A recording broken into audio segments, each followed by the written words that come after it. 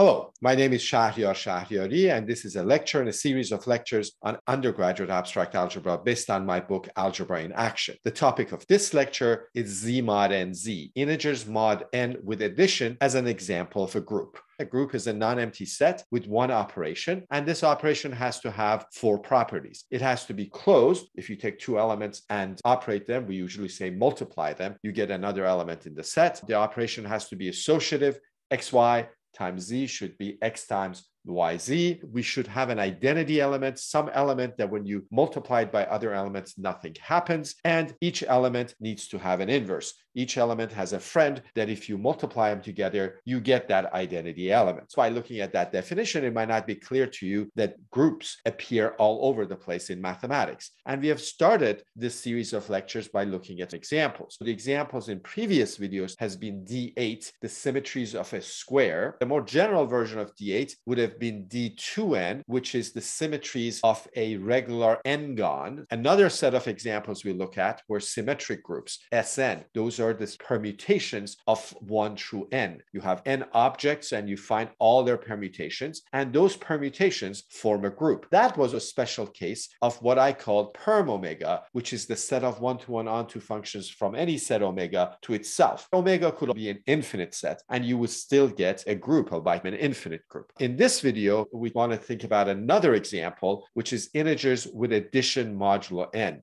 A z mod n z is the notation I will use for that. You start with an integer greater than 1, so 2, 3, 5, 17, 18. Then z mod n z is the collection of numbers 0, 1 through n minus 1. What's the operation? The operation is going to be addition modulo n. So what does that mean? It can't be normal addition because if you take two elements in this set and add them, if they're large enough, then you will end up outside of this set. We have changed the definition of addition here. If you take two elements in Z mod n Z, then I'm going to tell you what A plus B is. You might think you know how to add already. You learned that in first or second grade, but we're now going to tell you that A plus B is going to be defined differently. A plus B is going to be the remainder of the usual A plus B when divided by n. When you take a number and divide it by n, you can make sure that the remainder is either 0, 1, all the way to n minus 1. The remainder can always be less than n because if you divide and the remainder is more than n, then that means you didn't finish the division. You could have taken more n's out of that number and got a remainder between 0 and n minus 1. In group theory, we just use one symbol for the operation. And in this case, we're going to use plus. And to a first time listener, that could be confusing because you have the usual plus, like 5 plus 7 is 12. And then depending on the situation, we might be using that same plus for adding mod some particular n. And you have to know from the context what that is. And that can be confusing. Let's look at an example. Someone has picked for us n equals 6, and we are looking at z mod 6z, which consists of the set 0, 1, 2, 3, 4, 5. But these are really remainders of uh, numbers after you divide them by six. And so, for example, what would be three plus five? Now, three plus five in first grade was eight, but now you take out as many sixes as possible because n is six, and you get two as the remainder. In this world, in the world of z mod 6z, three plus five is two. And what's two plus four? Well, two plus four, you might think of it as six, but not here because you have to take the remainder when you divide by six, and two plus four becomes zero. One question we might have is Does, for example, one have an inverse? Well, what was an inverse? Inverse was one of the elements of the set that if you add to one, you should get the identity. But then the question is, what's the identity? So a lot of times we thought of identity as one because we was thinking of the operation as multiplication. And so one times something doesn't change it. But here the operation is plus. So which one of these elements has the property that when you add it to other things, nothing happens? And the answer is zero. So zero is the identity in this group. And then the inverse of one is going to be five. Why? Well, because the inverse of something is something that when you add it, you get zero, and one plus five is zero, because one plus five, you might think it's six, but when you divide it by six, the remainder is zero. Also add two plus four is zero, so that says two and four were inverses of each other also. One and five are inverses of each other. Two and four are inverses of each other. Zero is the identity. It's its own inverse. And here three also it's own inverse because three plus three is zero. I want to emphasize that in this group, zero is the identity, not one, and the operation is plus, not multiplication. And that can be confusing, and we will talk about that at the end of this lecture briefly. So z mod n z with n plus is either integers modulo n with addition or integers with addition modulo n. And there are other notations that other authors use. So z sub n, z slash n, or z slash parentheses n are all notation that are used. This z mod n z, z almost divided by n z might look like an odd thing when we get to quotient groups and learn about how to divide groups, whatever that means. Then this notation will make a lot more sense. But for now, we're just thinking of it as notation. I want to give you another example, z mod 5z. Here, n is 5. And these are the remainders when you divide by 5, not by 6 anymore. We are in a different world. We're in the world of remainders when you divide by 5. The new a plus b is the remainder of the usual a plus b when divided by 5.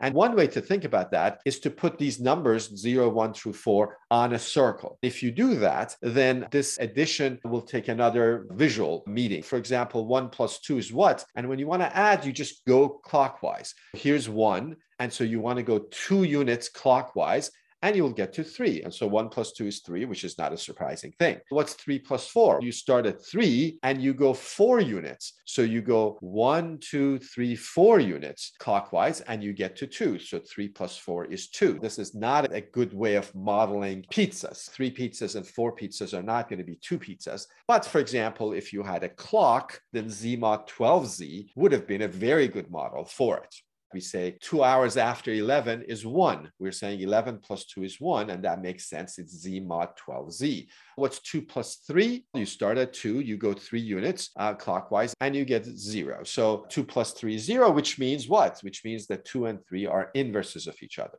We can also do subtraction. When we want to do subtraction, we're going counterclockwise on the circle. What's four minus two? You start at four and you go two units the other way, well, you get two as you would have expected. You could have, by the way, thought about this in a slightly more complicated way. What's minus two? Well, minus two is a number that if you add to two, you get zero. And in this world, that's three because two plus three is zero. So four minus two is the same as four plus three. And four plus three, is it seven? No, it's the remainder of seven when you divide it by five and that's two. Another example was three minus four. You start at three, you go counterclockwise four units, and you get to four. So three minus four is four. Do you believe that? Yes. Well, what about if I bring minus four to the other side? I get three is four plus four. Is that true? Is four plus four equals to three? Yes, because four plus four is eight in our world, but the remainder when divided by five is three. So that works. Or again, instead of minus four, you could put one because 1 plus 4 is 0,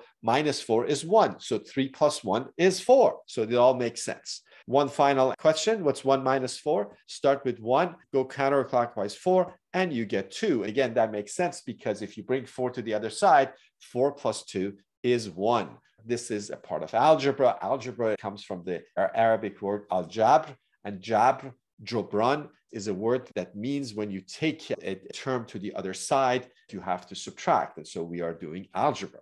We're trying to look at this as a group, but is it a group? Is Z mod n Z with addition mod n a group? And again, I'm using plus without anything to denote that it's different than the usual plus, and that can be confusing. But we don't want clutter. And when you're inside a group, you know what your operation is. First of all, we do have a non-empty set. We have these remainders mod n, and we have an operation addition modulo n, and we have closure because when you add two elements, when you take the remainder when divided by n, it ends up being between 0 and n minus 1.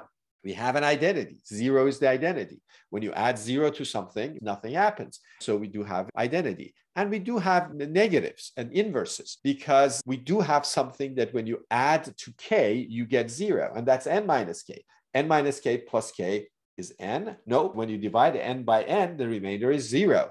When k is between zero and n minus one, n minus k is also in that range. With, within that range, you always have something that if you add to it, you can get to n and get zero. The only thing that remains is associativity. So the way I have defined it, associativity does not follow. There's other ways of defining Z mod NZ. For example, you can think of it as a set of equivalence classes. So you can say I have the integers and I partition the integers into so many sets. One of them is all the elements that uh, have remainder zero when you divide it by n. The other ones are all the numbers that have remainder one when you divide by n, and so forth. And then you define the addition on these sets not on individual elements. And then there's other things you have to prove. You have to prove that that addition is well defined, but then you know associativity. But associativity is something that I will have to prove. To prove associativity, I will use the division algorithm for integers, which I've actually been using all along in this lecture without telling you. Not too fair. So what is the division algorithm? The division algorithm is that if you've given me any integer, actually positive, negative, any integer, and then you give me an integer greater than one, then I can always divide m by n and get a quotient and a remainder.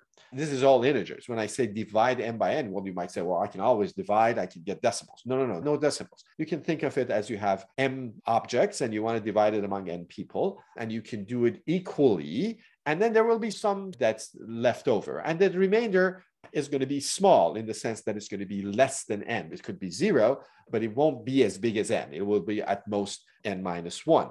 This is something that we used right at the beginning when I said when you want to add these things, you take the remainder when divided by n, and that's a number between 0 and n minus 1.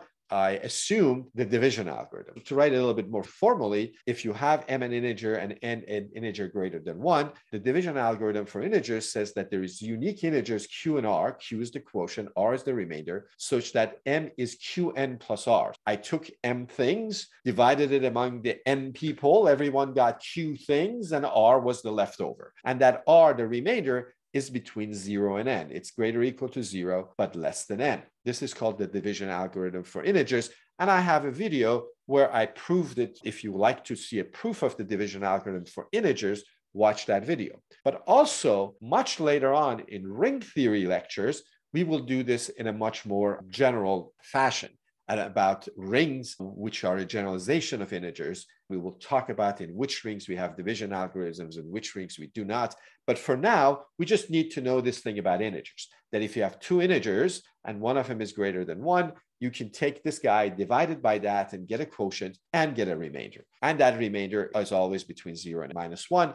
Either believe that or watch the video where I prove this particular thing for integers. To prove associativity, we need that. In fact, as I said, to even define Z mod NZ the way I did, I needed this division algorithm because often I would say, oh, look, you add these and the remainder is this or that. And I acted like that remainder is unique. And that's exactly what division algorithm tells me that as long as I want the remainder between zero and minus one, it will be unique. So let's go on and try to prove the associativity. And this is the one somewhat serious proof in this video. I'm going to do this proof. And then at the end, I'm going to talk about the additive notation versus the multiplicative notation, which can be confusing. So even if you're a first time reader and you might not want to go through this proof, I suggest you watch that. A, B, and C are three elements of Z mod n Z. And I want to show that in Z mod n Z, A plus B plus C is the same as A plus b plus c. Now, if these were integers, we already know that. We know that this is true for integers, or at least we are assuming that we know that this is true for integers,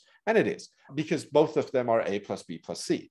However, when we take remainders, it's not so clear. It's not so clear when we take a plus b, which means take a plus b, but find its remainder when you divide by n, and then add that to c, which means that add that remainder to c, but then find its remainder when you divide by n, that's the same thing as if you found b plus c, found its remainder when divided by n, and took that remainder, added to a, and then again found the remainder when divided by n. That's not clear. That's what we need to prove. And here, these pluses are in z mod n z. So these pluses are talking about the addition mod n. When I say in z mod n z, that's the world I'm living in, and that's the addition I'm using. Again, I want to emphasize that that plus sign means a different thing in z mod n z than it means in the integers, z. This blackboard z means integers. Z mod nz is our friend Z mod nz. We have to be careful in this proof because we're going back and forth between the two. When are we talking about addition in integers? When are we talking about addition in Z mod nz? You might have said, well, why don't you put a circle around that plus in Z mod NZ so that we know it's different. And that would be a reasonable thing to do, but I'm not reasonable. I want you to get used to this jumping back and forth. That's one of the things you learn in algebra is to think about the same object from different points of views and also to think about symbols in context. I want you to get practice with that. And that's why I'm making it confusing. The first thing I have to do is find A plus B plus C in Z mod n Z, and then find A plus B plus C in Z mod n Z and see they're the same or not. How am I going to find A plus B plus C in Z mod n Z? First, I have to find A plus B in Z mod n Z, and I do that by using the division algorithm. I take A plus B, divide it by N, and see what the quotient and what the remainder are. And the remainder, R1, is what A plus B is in Z mod n Z. And that's a number less than N, but greater or equal to zero. Then what I have to do is to take that R1 which is what a plus b is in z mod NZ, and add it to c. How do I do that? So a plus b is r1 in z mod NZ. Let's remember that. Now I take r1 and add it to c because that's the remainder. And again, r1 plus c, you can divide it by n. You get a quotient and a remainder. Some of those numbers could be the same as before, but they don't have to be. And this new remainder I'm calling R2, and that's also a number greater or equal to zero and less than n. And so a plus b plus c is really this R2. So I found the remainder of a plus b when divided by n, added that remainder to c, and then find the remainder of what I got when divided by n, and that's my R2. Now, what about a plus b plus c? I have to start with b plus c. I use the division algorithm again. This proof is all about the division algorithm. And I'll say that b plus c is nq3 plus r3 in integers. These red things I've written down, like b plus c is nq3 plus r3 in z, then that's in the integer. So those pluses are the usual second grade pluses, whereas when we write in z mod n z, those are different kinds of addition. Note that the division algorithm not only gives us the, the quotient and the remainder, but says that as long as you make sure that the remainder is greater or equal to zero and less than n, the quotient and the remainder are unique. Uh, if I do it or you do it, if I do it Tuesday or if I do it Wednesday, I'm going to get the same answer. Now that I found B plus C, I know that B plus C is R3 in Z mod NZ. Now I've take, take on that R3 and add A to it. I do the division algorithm again. Uh, not a surprise. A plus R3 uh, divide by N, you get a quotient and a remainder R4. And R4 is greater or equal to zero, but less than N. So what? Now I know that A plus B plus C is R4 in Z mod NZ. What was I trying to do? I was trying to show you that in Z mod NZ, A plus B plus C is the same as A plus B plus C. We found each one of those what they are in Z mod NZ. A plus B plus C is R2, but A plus B plus C is R4. What I need to show you is that R2 and R4 are the same number. And I will do that on the next slide. I'm going to recap. So far, we have that A plus B was NQ1 plus R1. R1 plus C was NQ2 plus R2. I need all of these guys going forward. B plus C was NQ3 plus R3. And A plus R3 was NQ4 plus R4. R1, R2, R3, R4, the remainders were greater equal to zero and less than N. And what we were aiming for was to show that R2 equals R4. R2 was A plus B plus C in Z mod NZ, and R4 was A plus B plus C again in Z mod n Z, and I want to show that they're the same, and that would prove associativity. How do I go about it? What I'm really going to use is associativity in the integers. In our world, what's A plus B plus C? Instead of A plus B, I can put NQ1 plus R1. So that's NQ1 plus R1 plus C. But now I know what R1 plus C is. It's NQ2 plus R2. And I can put that and I can factor an N, and I get that A plus B plus C is N times Q1 plus Q2 plus R2. But I could do this differently. I could say, let's first, instead of B plus C, write NQ3 plus R3. And so what I would have is A plus NQ3 plus R3. And now A and that R3 at the end are NQ4 plus R4. And factor and I get N times Q3 plus Q4 plus R4. The division algorithm says that when you take an integer and divide it by something else, as long as you make sure that the remainder is greater or equal to zero but less than n, then the quotient and remainder are unique. And so now I'm going to ask you, what is the quotient and remainder of a plus b plus c when divided by n? This is the a plus b plus c that we know and love in the integers. If you take that integer and divide it by n, what's the quotient? What's the remainder? And I will say that we've already found that because if you look up here, the first relation we found was that A plus B plus C is n times Q1 plus Q2 plus R2. So we have taken A plus B plus C, divided it among n people, and we got a quotient of Q1 plus Q2 and a remainder of R2. And R2 is in the range we want. So it's an actual remainder. And so according to that first relation we found, the quotient is Q1 plus Q2 and the remainder is R2. But we did it a different way and we found a different quotient and a different remainder. We also found that A plus B plus C when divided by N has quotient Q3 plus Q4 and the remainder R4. Because the division algorithm says that the quotient and remainder are unique, those two quotients have to be the same and those two remainders have to be the same. So Q1 plus Q2 must be the same as Q3 plus Q4, which true, but I actually don't care about it. And R2 needs to be equal to R4, which is the associativity, and I'm done. I've proved to you that addition is associative. So let me recap and say something about additive notation, and then we will be done. So Z mod NZ with addition mod N is a group. It's a group that has N elements. And this is nice because now you know an example of a group of any order you want, of any size you want. For example, if I say, give me a group of order 47, you will say Z mod 47Z. Give me a group of order 153, Z mod 153Z. That would mean take the integers between 0 and 152. The operation is addition, and when you add, you add mod 153. This is actually a commutative group in the sense that A plus B and B plus A are the same. That's not one of the properties of groups in general. Groups in general do not have to be commutative, but this group is. We like to make new words because that makes us feel smart. And we don't call commutative groups commutative groups, we call them abelian groups. This is named after Norwegian mathematician Abel, who worked on abelian groups. He actually died very young, unfortunately. He rode sled to go see his fiancee and he got pneumonia and died in his 20s. He had much to contribute to all kinds of areas of mathematics, but especially to group theory, and abelian groups are named after him. We think a mathematician has really made it if something is named after them. And not only that, that people don't capitalize that anymore. So abelian is not written with a capital A, but with a little a when we're using a symbol for a group operation, we can use anything. We can use star, we can use anything. Usually we just write AB, A times B, for the product of A and B. And for all groups, we can use that. But for abelian groups, meaning commutative groups, we sometimes use plus. For example, in Z mod NZ, we're using plus. So plus is a common thing we use in group theory, but we only use it if you know a group is abelian. If a group is abelian, you still could use the product notation. The world won't end if you do that. The AB is a generic thing that we use for all groups. But if you want to emphasize that this group is abelian, you might use plus. But this can be confusing at first. And let me just show you some translations of things with the plus notation and the product notation. We have a multiplicative notation, additive notation. Again, for abelian groups, you can use either, but for non-abelian groups, groups that are not commutative, you only use the multiplicative notation. So in one, we write AB, in the other one, we write A plus B. And, and for an abelian group, those could mean the same thing. In third grade, you would have actually loved that if AB was the same as A plus B. You wouldn't have to remember the multiplication table. But this can be also a source of confusion.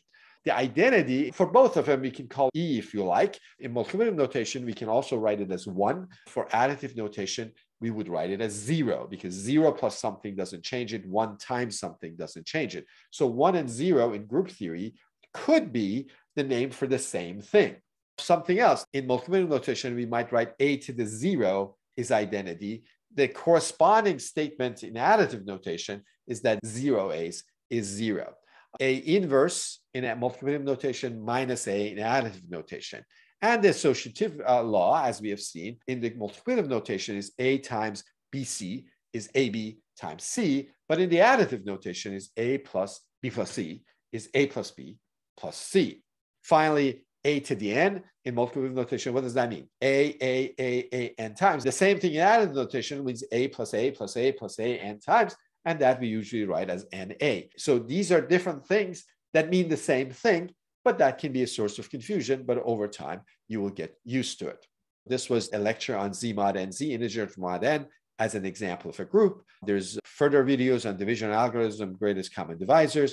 The groups of units of Z mod N, Z will come up, and then the general linear group invertible matrices is next. This is the end of this lecture. I will see you in the next one.